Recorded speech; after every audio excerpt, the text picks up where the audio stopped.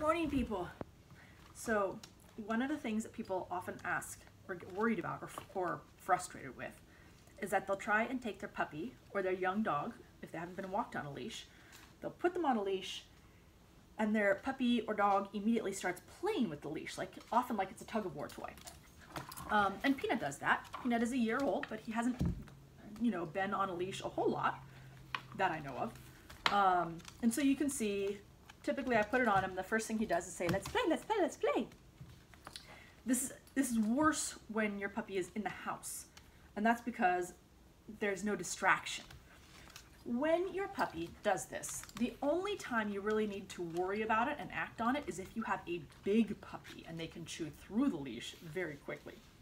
In which case, I would go get one of those thick leashes, that rope, um, because it takes them longer to chew through that. Do not get a leather leash, they'll go through that in like two bites. When you have a little puppy or dog like this, you just ignore the behavior. What's happening is that they think maybe it's a toy. They're not used to you putting something on them. Um, or if Peanut has gone for a lot of walks, he's used to somebody putting a leash on him and it being a toy.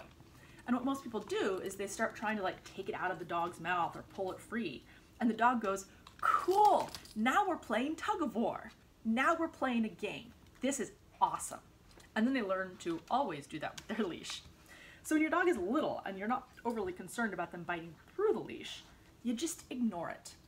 Because eventually, if you ignore it, your dog is going to be like, oh, this isn't really any fun. Much like he's doing now. So he was on leash in the house for several hours over the course of the day yesterday, sort of off and on. And then frequently, I'm just keeping him here so you can see. Yay, what floors and sliding.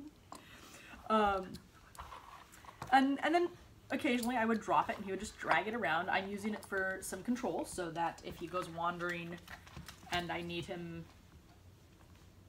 I'm too tired to get up and start following him again, I can bring him back and hang on to his leash for a little while. But then if I'm like, no, you know what, he's been good, I'm gonna let him wander for a little while, I can just drop the leash, he drags it around. After doing that for several hours yesterday, today he's still interested in the leash, but he's not like obsessed by it.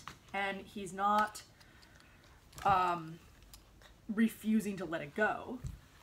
And all I did, I would hang on to the handle. So if he got to the end of it, he did pull, like tug of war pull.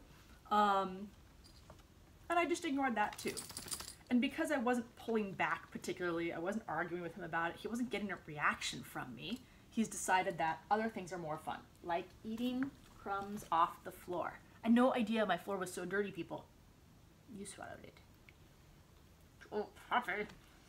Um, so if you have a dog or a puppy and they're chewing on their leash and you're worried they could bite through it, go get a fat leash and then ignore it as much as possible. If you have a small dog and they're chewing on it and you're worried they're gonna bite through it, they're not. It would take a lot of work. Peanut, oh my goodness. Um, so ignore the behavior and it will generally go away pretty quick. It will especially go away if you put the leash on them and take them outside for a walk because that gives them some distractions. On the other hand, if you put a leash on them and you have them in the house, because there aren't any distractions, they're going to figure out pretty quick that when they trot to the end of the leash and, and they hit it and it pulls on them, not in a fun tug of war way, it pulls on their collar, on their harness, they're going to go, oh, that's not comfortable. And they're far more likely to back off that pressure. So it sort of helps teach them some uh, no pulling techniques if they're in the house. That way they're not overly distracted. This might not work if you have children running around. Um, hi, baby. Yeah. Uh, if you take them outside, it will stop them from chewing on the leash faster because they're distracted by other things. But they won't automatically sort of figure out, oh, I shouldn't pull on it, it's not comfortable, because they're distracted by other things. So there's your tip for the day. Okay. Oh, with the. Yeah.